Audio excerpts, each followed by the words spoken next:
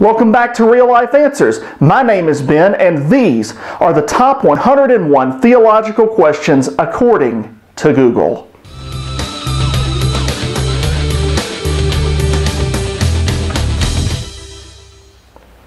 Welcome back to the top 101 theological questions according to Google, where we take the top Google questions on the internet and attempt to answer them in two minutes or less.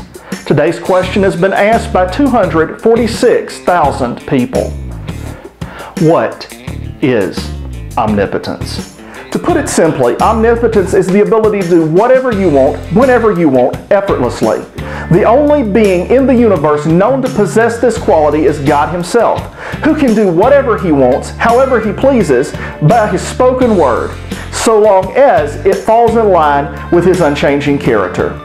This truth is clearly seen in Job chapter 42 and verse 2. Then Job replied to the Lord, I know that you can do anything, and no one can stop you.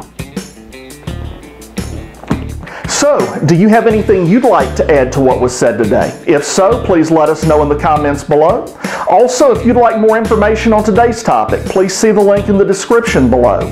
Finally, if you like what you saw here today, please hit that like button and subscribe. Also hit the notification bell so that you don't miss an episode. God bless you.